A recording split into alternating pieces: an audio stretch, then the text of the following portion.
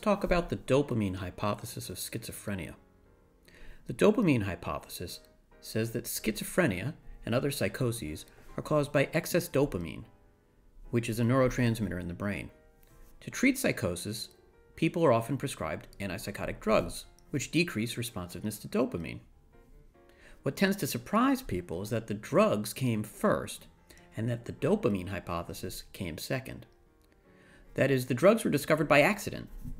Some of the earliest antipsychotics were actually being used as industrial dyes when the workers who were handling them began showing changes in mood. And so doctors took notice and began using these drugs to treat psychopathology.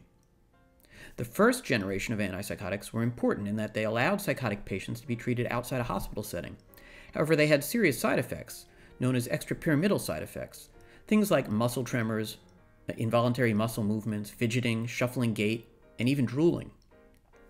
Long term use of these drugs can cause irreversible side effects, a condition known as tardive dyskinesia, which involves repetitive and involuntary muscle movements, lip smacking, tongue wagging, and frequent eye blinking. Now, despite the side effects, these drugs did seem to reduce positive symptoms of psychosis. So things like delusions, hallucinations, and disordered speech were all helped, they were improved. Importantly, it was only once the drugs were in use that researchers started studying how they worked. And it was discovered that they reduced dopamine levels, and from there, the dopamine hypothesis was developed. Even though antipsychotics do reduce symptoms of psychosis, it's unclear whether the dopamine hypothesis explains why. It's really hard to measure dopamine levels, so we can only do so indirectly using neuroimaging, uh, measuring metabolites in cerebrospinal fluid, or post-mortem, that is, after patients die and we can examine their brains. Now, many researchers agree that dopamine is important in psychosis, but they reject the original dopamine hypothesis's claims that excess dopamine alone is its cause. Now, one example of a more recent theory that looks at dopamine and psychosis is the aberrant salience hypothesis. This hypothesis says that dopamine is important in making attributions of what is important, or salient. According to this hypothesis, psychosis occurs when the mesolimbic pathway of the brain, which is important in the experience of rewards and pleasure, becomes overactive, generating excess dopamine. Excess dopamine then leads to the overattribution of significance, in other words, salience, to irrelevant events. And this possibly explains delusions, which are seen as dopamine fueled efforts where patients overinterpret what is going on.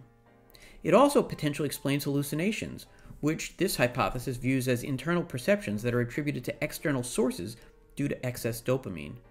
The aberrant salient hypothesis is intriguing, but like the original dopamine hypothesis, it's hard to test because we can't directly or easily measure dopamine levels. In more recent years, second generation antipsychotics that purportedly have somewhat different and somewhat less severe side effects have replaced the original first generation antipsychotics. These second gen antipsychotics are also known as atypical antipsychotics. They are less likely to cause extrapyramidal side effects, but even so, it's notable that the US Food and Drug Administration hasn't permitted drug companies from removing warnings about tardive dyskinesia from the labels of second generation antipsychotics. When it comes to effectiveness, antipsychotics do help many patients, but certainly not all of them.